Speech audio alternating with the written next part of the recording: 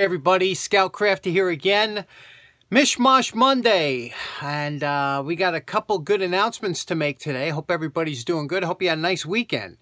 Um, a little bit crazy out there, so uh, I know you're you've been adjusting your schedules and stuff. And my good buddy Cliff the other day was saying, John, we we, we really need a challenge, and and I've been racking my brains about uh, coming up with a challenge for um, for the next, especially now that a lot of us are inside and things like that. So um, I wanted this challenge to be inclusive, that everybody can join in, and also that you don't need special tools or things like that. And uh, we are a tool channel, but I did come up with something I thought would be really good, being that uh, we're in March now, and uh, this would be a great time for the Birdhouse Challenge. Now that'll, uh, for a lot of us, it'll, you know, expand your horizons if you haven't done any kind of woodworking or anything like that. But for others, you know, it's a good chance that you could do this with your family. You could do this by yourself. You could do an over-the-top birdhouse. And, you know, I've been making birdhouses every year for years, and I used to do it with the scouts all the time. But what a great opportunity for, uh, for us to, um, to get down in the shop, build something fun and something that's useful, especially to a bird in your neighborhood. So uh, I'm going to go through a, a few uh, criteria for it. Um, you know, it's it's nice to do an over-the-top one. You know, it doesn't have to be... I'll tell you, they make great gifts, too. A birdhouse is a fantastic gift for somebody. Uh, I know I uh, every Christmas I used to make birdhouses and give them away. And uh, let me show you a few that we have. And uh, so this way, you know, you don't have to get out and buy supplies. You can make it from anything you have around the house. So let's go check that Now, the beauty of this challenge is that uh, you can make it a birdhouse with anything you have around it. These I made years ago. Uh, actually, they're made from cardboard. If you look here, uh, it's just cardboard, just regular cardboard. And uh, what you do is you put masking tape over the edges here, but that's, you know, and then once you, uh, once you put it together, you just give it a coat. Right now, there's just a coat of shellac on here, but um, you can also put house paint. Anything on cardboard will uh, will last it through a season as long as you uh, you coat it. Like I said, you know the rain, it'll last a season, which is uh, basically what you want. I made these little uh, ferrules that go in here. You can see out of a piece of PVC pipe and uh, just turned it on the lathe a little bit just for fun and put in. I have a, a, bunch of these I made, but these also were great for decoration. If you wanted to put them in the in a room or a porch or something like that, you could paint them up nice, put flowers on them, and uh, you can really have a good time. Just cardboard, regular now cardboard. You remember these from a, a, recent video, and these are made from the PVC fence post. You know, you just uh, a piece of PVC fence post. You cut a uh, your 245s up here and then you take another piece and you cut the uh, along the edge here to make the roof. So very easy to make and you put a wooden bottom in. So uh, that's a that's an easy alternative and then decorate it with some kind of I got these new old stock decals and uh, these are very durable very uh, weather durable.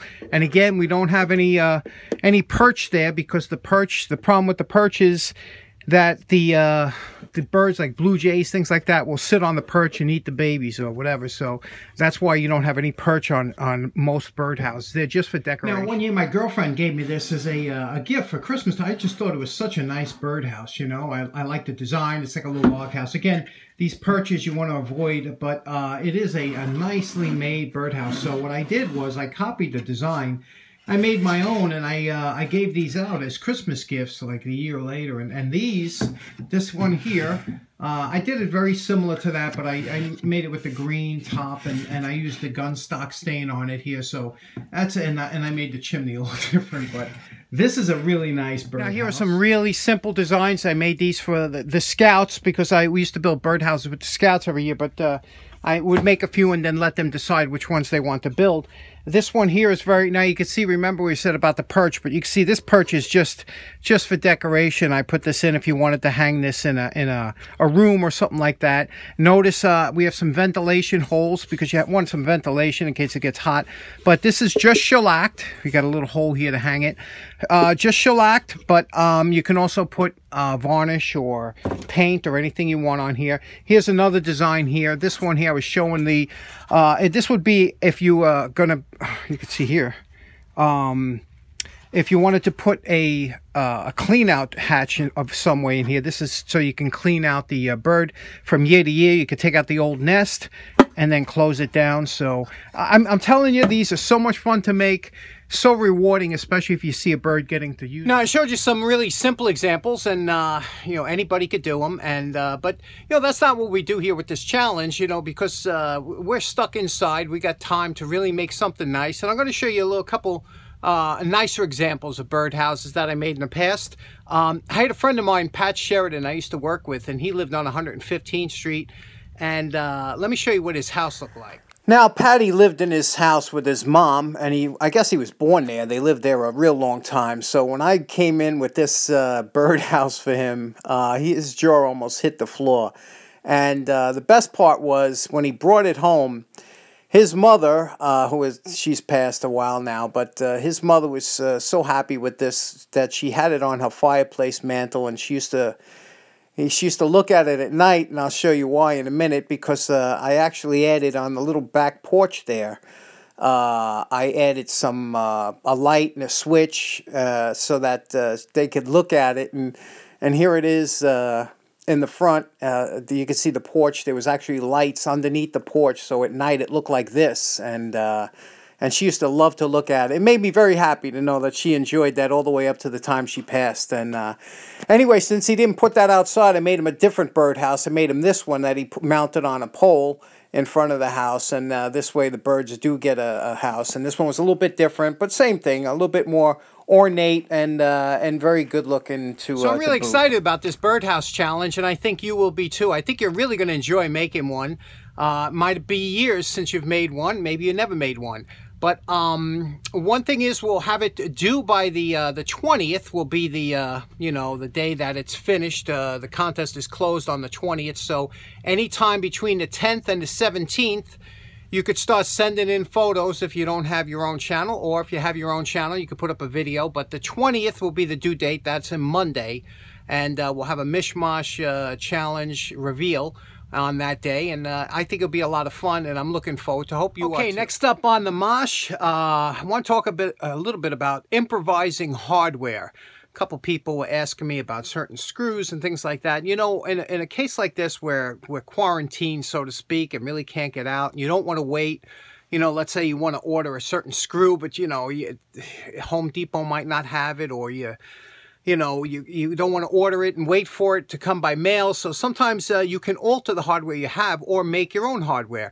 This is coming, I can't tell you how many times it's come in handy, especially those two pipe wrenches we did the other day. I had to make almost all that hardware and stuff. So let me show you some tricks and tips on making your own or altering your okay, own hardware. First thing we're going to talk about is cutting threads. Now I'm over here at my threaded rod section. You can see this is where I keep most of my threaded rod and things like that. So if I have a piece of threaded rod that I want to cut down, and, and I'll show you how Now, many times uh, you'll need a specific length of a, of a bolt or something. If you have a long bolt and you need to shorten it, you're going to have to cut threads. And cutting threads is, is a skill that's so easy to do, but it's really something you have to practice at. Now, if you look at the end of here, you can see this was a discarded piece of threaded rod I picked out of the garbage. But you can see here, you see the end that end the way it's cut off. A lot of times, especially if it's cut with a uh, an abrasive wheel, it makes a horrible cut. So what we're going to do is we're going to cut off about uh, a quarter of an inch here, make a clean cut, and I want to show you how to do that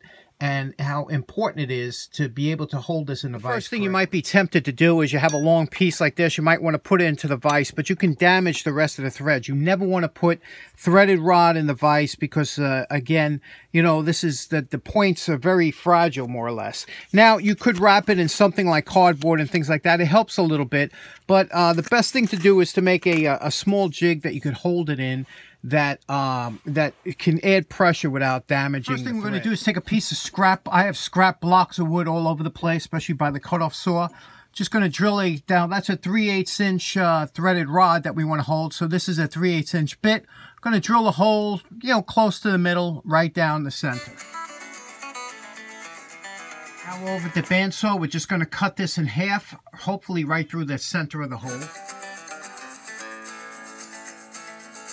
Now we cut the uh, cut the block in half. And what we're going to do is we're going to take the threaded rod. And you see how it fits in there real nice. Again, it's the same. But because of the curve of the blade, there's going to be a little gap. You'll see a little gap there. And that's good because that's what's going to be able to press the wood down around the threads and hold that nice and solid in the vise. Okay, now we're going to bring it over to the vise and put it over here so that just it overhangs a little bit and uh, and we'll make sure that the vise gets a good bite on this block of wood right in the middle and then tighten it up. And now you have a solid purchase on that. That's not going. That threaded rod is in there tight. Now we're going to cut off about 3 eighths of an inch down we're going to cut it off. And here's where it now gets I'm important. using a 24 teeth per inch hacksaw blade.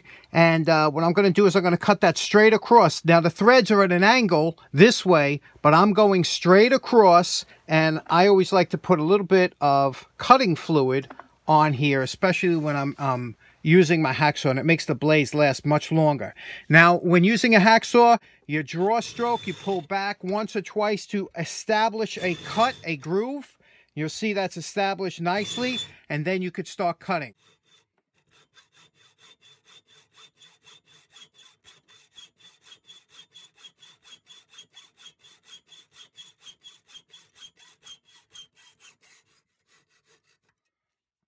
Okay, now when you get to the end here, you'll see there's always that little bit of hang off. Now, when you pull that off, you'll see you have a flat, straight cut. Now, look very closely at that. That's a beautiful cut across there, but still, there's a little bit of a wind up here. Now, the best thing you could do is you want to chamfer the end of the, of the, uh, the threads just a little bit down to make it much easier for the nut to start on. So we want to chamfer that. And the best way to do that, if you have a belt sander or something like that, you could just hold it and, and, and let that chamfer it naturally like this.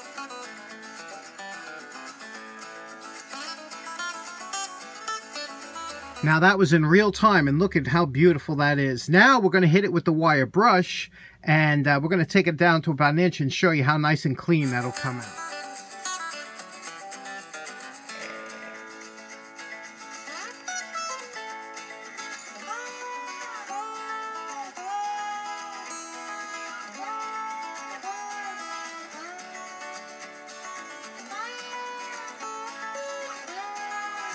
Have a 3 8 by 16 inch nut just to check it out. Push it on here like this and look at how that spins on. It goes on so nice and easy because that is a perfect uh, end of what we did on there. You see that? That's the way, exactly the way it should look. And uh, that is a skill, and especially when you start getting to the real small uh, screws and bolts, because that's something you want to be able to do. Now we wanted to make a set screw, like I said, we needed a set screw. So what I'm going to do is I'm going to cut off a 3 eighths of an inch, because that's how long we need, 3 eighths of an inch piece of this. We're going to do the same thing to the other end, and then we're going to cut a slot in here.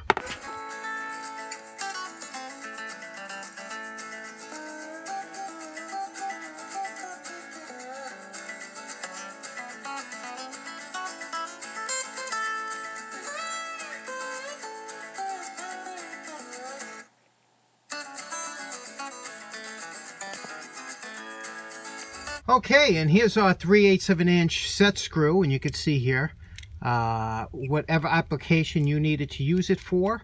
You know, we just have it set in here that you could see what it looks like, and you could see here how nice this looks here. You know, nice little face on it, cut a slot in here. So you could make set screws, you could make uh, nuts, bolts, whatever. Threaded rod is a great If you're working in the field or something, you don't have a lot of access to other equipment.